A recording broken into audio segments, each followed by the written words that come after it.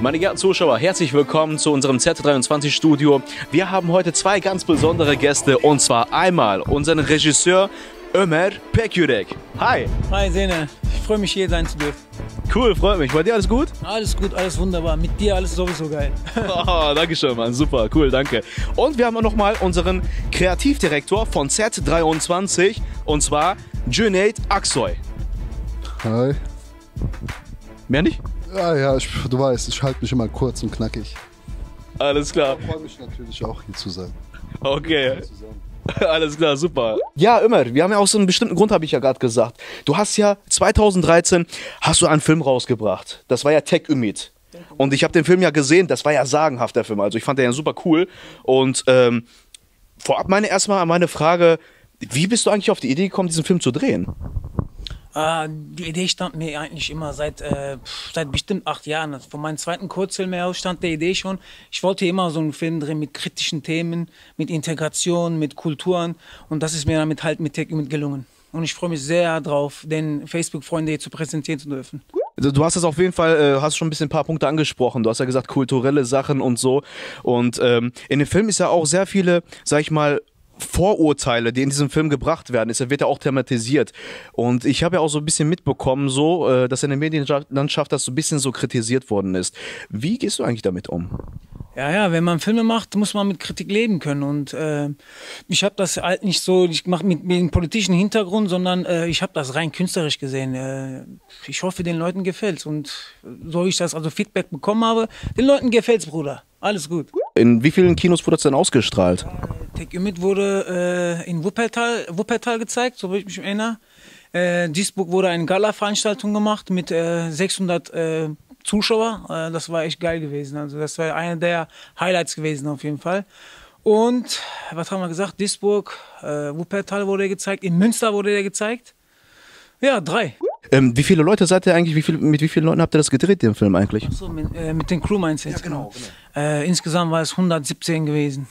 Oh, doch schon eine ganze Menge, ne? Also Schauspieler, äh, Crew, gesamte Crew 117 Leute, genau. Aber jetzt schlagen wir ein ganz neuen Kapitel auf. Und zwar, du hast ja ein Remastering von Tech Ümit gemacht. Ne? Was genau hat sich an diesem Film geändert? Was würdest du uns da sagen? Das ist neu und das ist neu und das ist äh, gemacht worden. Der Film ist wirklich, wird wirklich remastert worden. Äh, der Film ist ganz ein anderes Niveau gezogen. Ich habe einen, einen Cutter gehabt und der hat den Film natürlich überhaupt nicht verstanden, worum es da geht, obwohl ich da äh, zigmal äh, Stunden da bei dem verbracht habe. Aber der hat den Film nicht verstanden, Bruder. Deswegen äh, gab es da so ein bisschen Auseinandersetzungen. Der Film wurde neu geschnitten und dann habe ich den nochmal auf den Hand genommen. Ich wollte den nochmal neu schneiden. Okay, es ist mir gut gelungen und dann habe ich halt den Junaid kennengelernt.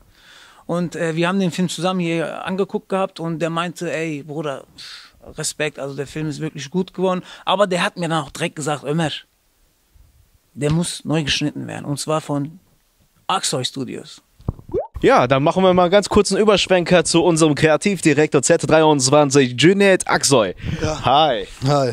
War dir alles gut, alles Taco? Alles bestens, so wie man halt lebt. Und was soll ich dir beantworten, mein lieber Freund? Ach, was willst du mir beantworten? Ja, ich finde das geil, dass du so offen bist, dass du schon direkt so meine Fragen beantworten möchtest. Finde ich geil, Hammer. Ja, dir beantworte ich meine Fragen gerne, das weißt du. Ihr habt ja jetzt zusammen ein Remaster zusammen gemacht. Ja, Tech Ümit von ihm und du hast nochmal den die Kirsche auf den, die Kirsche auf den Sahnehäubchen nochmal so ein bisschen draufgegeben. Ja, so, genau, ja. das ist ja mein Spruch eigentlich, genau. richtig, richtig. Dann will ich das anders provozieren, will ich das anders nochmal sagen, der hat nochmal äh, den Ganzen nochmal die Süße nochmal verleiht, einen schönen Duft dazu nochmal gegeben. So, was hast du genau, was, wie würdest du sagen, was hat das für dich jetzt, Tech mit, äh, eine, hat das für dich eine ganz neue Bedeutung jetzt in deinem Arbeiten? Ist das was Neues für dich jetzt? Ja klar, also ich habe immer so hobbymäßig geschnitten. Tech Ümit hat dir drei Stunden Rohmaterial und die alte Version hat dir 90 Minuten gedauert und mhm. ich habe diesmal ganze drei Stunden Material in zwei, ja, 108 Minuten komprimiert alles. Äh, als ich gesehen habe, was der hier geleistet hat, weil das sind so Sachen, ähm, da habe ich mich auch schon früher darauf fixiert, aber das Problem ist in, hier in der Branche ist, wenn du nicht die richtigen Leute hast, dann läuft das nicht, ja. Und er hat genau das gemacht, was ich schon in meinem Kopf hatte Aber ich habe ihm, also ich wollte ihm auch nicht kränken, so, weil das ist, äh, nicht jeder Künstler ist froh, wenn man in seine Werke reinfuscht, aber Kritik muss man ertragen. Zum Beispiel die Action-Szenen könnte man besser machen. Ne? Die Message, das Thema, die Vorurteile, alles perfekt. Als er mir dann noch diese Rohmaterialien gezeigt hat, die er nicht benutzt hat, dann wusste ich, okay, ich muss diesen Film in die Hand nehmen. Und er hat das dann, die mir, mir die Rohmaterialien ja, zur Verfügung gestellt. Mhm. Ja, und ja, ab dem Tag warst du auch dann dabei. Wollen wir das nicht vergessen, ja?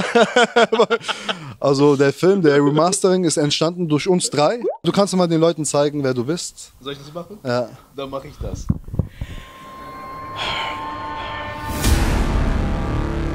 Wären Sie Zeuge eines noch nie dagewesenen Films? Der Blockbuster am 28.01.2018.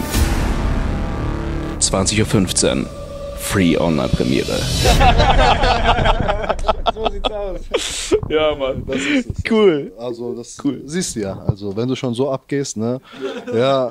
Ja, und dann haben wir uns halt noch ein bisschen äh, kreativ überlegt, vielleicht könnte man noch neue Szenen aufnehmen. Das ist immer schwer, eine alte Produktion, die schon drei Jahre her ist, neue Szenen, dass es auch noch alles identisch aussieht. Mhm. Ja, dann kam uns halt die Idee, ähm, ein Intro und Outro neu zu verpassen. Ja, und dann, mm, ja, da war ich auch mal dabei. Da bist du mit deiner Stimme dabei. Also ein kompletten Remastering, Video- und Audio-Remastering. Auch ein paar Drohnenaufnahmen gibt es ja auch noch in dem Film. Ja. Also der Film hat auf jeden Fall ein ganz, äh, auch chronologisch, ne? Chronologisch auch ein bisschen, äh, bei der alten Version haben halt, hat er auf manche Szenen verzichtet, weil der Cutter halt damals, äh, so wie er mir, wie er mir erzählt hat, Mist gebaut hat. Ich habe jetzt all die Szenen, das sind nur noch wenige, die wir nicht benutzt haben, ne? ganz, ganz wenige so, die keinen Sinn gemacht hätten. Aber ansonsten hat der Film jetzt von A bis Z einen kompletten schönen Sinn, auch eine schöne Me Message. Geil, also du hast das schon auf jeden Fall das, einzige, das alles schon so krass erklärt, was du daran so verändert hast. Finde ich ja, ja, richtig, richtig geil. Hammer. Also ich habe äh, ich ich hab mir den bestimmt jetzt schon zigmal angeschaut ne, und äh, langweilig wird er nicht. Also wenn es dem, dem Cutter und dem Regisseur nicht langweilig wird, denke ich mal, wir haben eine gute Arbeit geleistet. Das glaube ich nämlich auch. Ne? Ich meine, du hast ja gerade gesagt, ne, wenn du nicht die richtigen Leute hast, dann kann man auch nicht vernünftig arbeiten. Und ich glaube, ihr habt euch schon so ein bisschen beide so ein bisschen gefunden dann. Ja, so, ne? Bei Ömer habe ich gesehen, äh, wir, haben, wir ticken so in der gleichen, äh, wir harmonieren. Wir harmonieren auch mit dir. Ja, also die, ja klar, also Zeynel, du gehörst natürlich auch dazu. Du bist ein wichtiger Mann für Tick mit gewesen. Da muss man nicht vergessen, ey. Danke. ich bin auch dabei. Wurde der Film eigentlich auch gefördert durch andere Institutionen eigentlich? Äh, dieses Film wurde gefördert durch äh, Kulturbeirat der Stadt Duisburg. Und herzlichen Dank nochmal an Daniel Jung, äh, an Duisburg, äh, Stadt Duisburg, der mir so ein bisschen den Fördermittel, den Rückendeckung gegeben hat. Mhm. Danke nochmal dafür. Also der Film äh, Tech Ümit, den habe ich ja eher so, eher so Nachhinein erst so mitbekommen, so wo wir uns kennengelernt haben, haben wir uns ein bisschen gesprochen gehabt und habe ich dann so ein bisschen haben wir über die Projekte gesprochen, die du mal gemacht hast. Ähm, warum äh, ist mir eigentlich mir oder beziehungsweise den Zuschauern irgendwie nie aufgefallen, irgendwie, dass das publik gemacht worden ist, zum Beispiel im Fernsehen oder beziehungsweise im Fernsehen oder in den Medien mal so berichtet worden ist. Also ich habe nie davon was gehört. Äh, Gibt es da einen bestimmten Grund dazu? Ja, wie gesagt, der Film ist auf jeden Fall sehr sozialkritisch gewesen und sehr auch politisch. Ich denke mal, äh, da gab es sehr, sehr we äh, wenige äh, Leute, die einfach den Mut haben, den Take Umit einfach mal zu zeigen. Wie gesagt, weil der sehr sozialkritisch ist. Aber ich glaube, auch deswegen ist der Take Umit auch so publik geworden, weil der eben so sozialkritisch ist. Äh, Fernsehen natürlich, wir haben Arte damals äh, angesprochen gehabt, aber naja, die wollten den Film so ein bisschen gekürzt haben, mal da rausschneiden, mal da rausschneiden. Ja, welchen Künstlern gefällt das schon? Seine eigene Werk da irgendwie äh, je, nach, je nach Wunsch zusammenzuschneiden. Das wollte ich auf gar keinen Fall nicht. Und so hat sich dann nicht ergeben. Aber wie gesagt, ich freue mich auf jeden Fall, äh, vielleicht mit Z23, äh, Muslim Mainstream auf jeden Fall, wird er jetzt Blockbuster feiern. Mal gucken, wie das, wie das kommt. Ich bin nur gespannt auf jeden Fall. Du hast ja auch sehr viele Vorurteile in deinen Film mit eingebracht, thematisiert. Äh, wurden dir während des Films, gerade durch diese Vorurteile, irgendwelche Steine auf den Weg gelegt, als du diesen Film gedreht hast oder beziehungsweise während du diesen Film gedreht hast?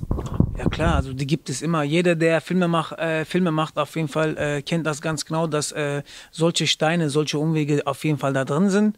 Wie habt ihr euch eigentlich kennengelernt? Ich frage mal erstmal Junaid, dann komme ich mal zu dir dann nochmal. Ja? ja, kurz gesagt, wie sagt man auf Türkisch so schön, Kismet. Ne? Und mehr kann ich dazu nicht sagen. Also Schicksal heißt es übersetzt. Und das sollte auch, glaube ich, so sein, dass der Ömer halt äh, erstmal die erste Version so versucht rauszuschlagen und hat halt Steine im Weg gehabt. Und dann kam ich irgendwann hier ins Studio. Ähm, ja, ich war schon ein bisschen vorher hier bei Z23 Studio und danach kam der Ömer. Und hier haben wir uns halt persönlich kennengelernt. Und als er dann hier seinen Film uns gezeigt hat, ja, da hat es angefangen halt. Ein hat's gefunkt, ja, da hat's gefunkt, genau. Da hat's gefunkt, da hat's geknistert. Ja, da hat's geknistert und ja, und dann kamst du noch in die Sache rein. Die drei haben es dann hier irgendwie hinbekommen, eine Remastering zu machen von Tech Ümit, Director's Cut. Ja, so viel von mir. Wolltest du eine bestimmte Message den Leuten mit diesem Film vermitteln? Ich denke ja, oder? Ja, auf jeden Fall. Also ich habe, äh, als ich Take Imit gedreht habe, habe ich ganz ehrlich gesagt nie kommerzielle Gedanken gehabt. Also ich wollte äh, mit diesem Film auf gar keinen Fall Geld, Geld verdienen. Aber ich wollte absolut, dass der Film Jugend erreicht dass der viel Menschen erreicht, viel Jugendliche erreicht auf jeden Fall. Weil der Film hat ja eine Kernmessage.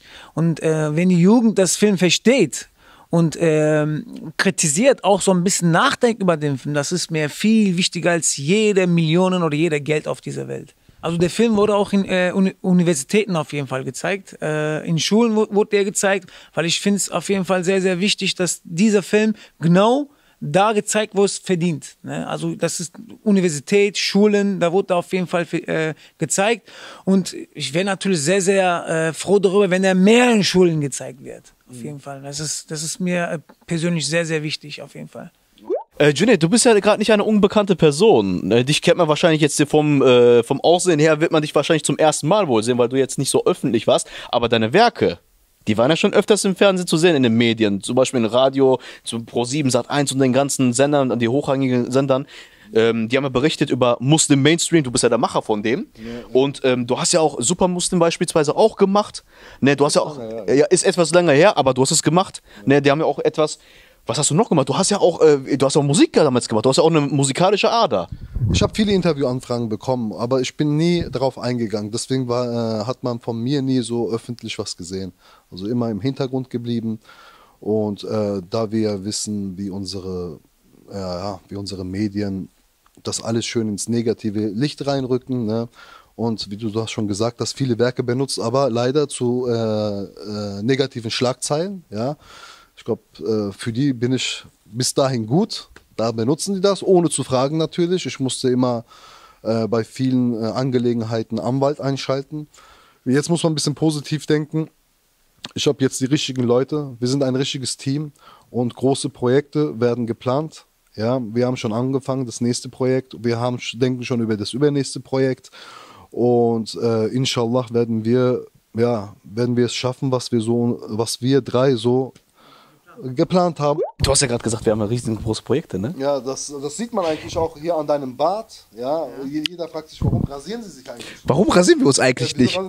warum sehen wir aus wie IS-Terroristen? Das, das müssen wir dem Regisseur sagen. Genau, das hat alles, was ihr seht, hat es auf jeden Fall einen Sinn, inshallah. So, immer, du hast ja ein paar Szenen gehabt, wo, sag ich mal, wo, sag ich mal, ein bisschen nackte Haut gezeigt worden sind oder andere Szenen, wo gesagt wird, okay, da kann man richtig kritisieren. Da kam ja von den Nutzern, von den Leuten, die, sag ich mal, den Trailer gesehen haben, die zwei Trailer gesehen haben, ähm, Kritik, ne?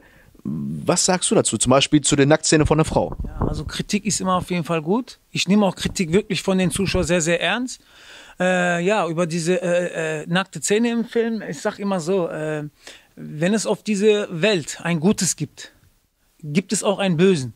Und warum sollte man immer noch äh, immer den Guten zeigen im Film, sondern wir wissen ja, dass es einen Böse gibt. Und ich finde es ganz, ganz, ganz wichtig, dass man auch im Filmen den Bösen nicht nur nennt, sondern auch zeigt. In diesem Sinne sind ja Frauen jetzt nicht persönlich äh, gemeint Frauen, sondern für Ümit dieses äh, Club, dieses Rockermilieu und dieses, äh, äh, dieses halt Frauen, wo der zum Beispiel zum Table Dance geht und diese nackte Frauen sieht. Und im, im Nachhinein merkt man das im Film, dass die Frauen halt denen irgendwann nicht mehr gut tun. Und das ist halt der Böse im Film. So wollte ich das halt interpretieren in dem Film. Darum geht's. Also es ging eigentlich nicht viel darum zu zeigen, ah, okay, nackte Frauen, sondern diese nackte Frauen haben, haben denen eigentlich nicht gut getan im Film. Und darum geht's. Ah, okay. Du hast es auf jeden Fall, sag ich mal, das Böse ein bisschen so ein bisschen verbildlicht, hast du das dann gemacht, richtig? Genau, ganz wichtig fand ich das auf jeden Fall. Dazu, ich. Also das ist, äh, dass man, ein, wenn man einen authentischen Film macht und dieser Film ist authentisch gemacht, äh, wahre Geschichten, ja, also wahre Ereignisse, sagen wir mal lieber so, weil Ömer hat da äh, auf jeden Fall auch Themen erwähnt. Also ich kannte ja Ömer vor dem Film nicht. Er hat Themen erlebt, die ich selber auch gesehen, erlebt habe. Er hat mir erzählt, manche Szenen hat er selbst eins zu eins erlebt. Also kann man schon sagen, der Film ist schon auf vielen Szenen äh, nach wahren Ereignissen aufgebaut. Und äh, wenn du was anderes machst, lügst du ja. Also das ist ja, man, ich sag ja, ein authentischer Film musst du zeigen, das Gute und das Böse. Äh, ich meine, da kann man, das kann man kritisieren, ja, aber meistens sind das auch diejenigen, die dann in den Kino gehen und sich andere Hollywood-Filme angucken, wo nur fast nackte Haut zu sehen ist. Und da kann man den Film nicht angreifen wegen 10 Sekunden, 20 Sekunden. Ja, immer. Der Film wird ja am 28. Januar nächsten Jahres wird es ja ausgestrahlt, live. Und, äh, einmalig, richtig? Und zwar free online wird es ja gemacht. Und ähm, du wirst es ja über Muslim Mainstream laufen lassen. Wie bist du eigentlich auf Muslim Mainstream gekommen? Warum eigentlich über Muslim Mainstream? Die Idee kam auf jeden Fall von Junaid dass er mich angesprochen hat und gesagt hat, pass auf immer, äh, der Film passt auf jeden Fall zum Muslim Mainstream. Und ich habe ja auch damals so ein bisschen Muslim Mainstream so nachverforscht, was, worum es da geht um diesen Kanal. Dann hat er natürlich sofort zugesagt, weil der, weil Muslim Mainstream passt wirklich für den Film. Ja, also der ist fast so, man könnte sagen, der wurde vom Muslim Mainstream produziert. Ne? Also das ist äh, für, für diese Seite auf jeden Fall. Dann habe hab ich natürlich Junaid sofort zugesagt und dachte, ich finde das geil dass wir so eine äh, Online-Premiere machen. Da hat er natürlich zugesagt, weil ich mich auf jeden Fall freue darüber. Du hast schon direkt den, äh, den Vorschlag für, für Ömer dann gemacht. Hast du gedacht, ey, das Ding, das muss krachen, das muss ich jetzt nochmal schneiden. Und was ja, hat, das kam alles später. Daran haben wir überhaupt gar nicht gedacht. Also das kam dann irgendwann so mitten, wo wir schon 80 Prozent des Films fertig waren. Mhm äh, ob das, ja, irgendwie, ob ich den vorgestellt irgendwie kam, der, kam die Idee zustande und danach habe ich, natürlich, warum nicht? Eine Free Online-Premiere auf Muslim Mainstream passt optimal, finde ich. Also finden wir. Ömer, du hast ja, äh, der Junet hat ja schon ein bisschen etwas angekratzt. Er hat ja schon gesagt, wir werden ja demnächst auch neue Projekte starten. Es, wir, wir haben ja schon im Voraus schon etwas geplant gehabt. Hm, willst du den Leuten schon mal so ein bisschen so, so einen kleinen Bonbon, so, eine, so, so ein klein bisschen Baklava geben, damit die ein bisschen heiß werden? Auf jeden Fall. Also äh, die Idee, ich sag mal vorab schon, nicht, nicht zu viel verraten, aber das wird auf jeden Fall ein Western. Ein Western mit türkischen, mit internationalen Schauspielern. Und die Idee kam von mir, dass ich immer sowas schreiben wollte Grundideen waren da, ich wusste, wo der Film anfängt, ich wusste, in welche Richtung das gehen soll und ich wusste auch, welche Darsteller ich da brauche. Und dann kam natürlich der Junaid und du natürlich, äh, äh wir haben irgendwo mal gesessen und dann haben wir uns einen Plan gemacht und jetzt steht der Drehbuch fest und die Dreharbeiten fangen 20.01. an, inshallah. Der Ömer hat ja schon etwas beantwortet, er hat ja schon ein bisschen was über die Projekte erzählt. Willst du den Leuten mal vielleicht ein bisschen auch ein bisschen so ein bisschen kitzeln, ein bisschen heiß drauf machen, was für Projekte ihr noch, bisschen, also wir noch starten möchten? Naja, das ist ein Kurzfilm, da muss man schon vorsichtig sein, äh, was man Preis gibt. Ne? Also der Ömer hat das Wichtigste gesagt. Western, mhm. Western-Movie. Und äh, genau wie es für Ömer ist, ist es auch für mich. Das ist wie so eine Neuwelt, so Experiment. Und ich mag sowas. Mhm. Ich mag sowas zu experimentieren, nicht immer das Gleiche. Mhm. Man muss immer, da äh, tick ich und Ömer auch gleich so, man muss immer etwas machen, was so, ähm, was vorher keiner gemacht hat. Ne? Und äh, hier sieht man nicht in Deutschland, dass man viele Westernfilme gemacht hat, außer Komödien, soweit ich weiß jetzt. Mhm. Aber äh, so, so, was wir jetzt so planen, in diesem, diesem äh, Style, Glaube ich nicht. Nein, gibt's, gibt es nicht. Ne? Das gibt, gibt es auf jeden Fall noch nicht. Also bis jetzt habe ich noch auf jeden Fall auch keine gesehen. Stellt euch vor, Western mit interkulturellen Leuten. Jetzt nochmal eine Abschlussfrage nochmal.